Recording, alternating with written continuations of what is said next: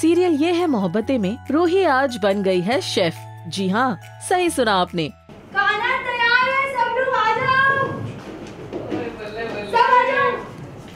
रूही अपने हाथों से बना रही है इशिता के लिए खाना और ये देख सभी घर वाले हैं काफ़ी खुश। बैठो क्या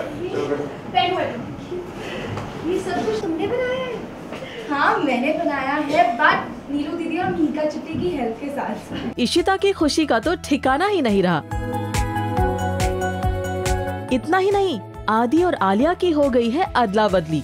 आदि और आलिया एक दूसरे के घर वालों को इम्प्रेस करने के लिए एक दूसरे के घर रहेंगे।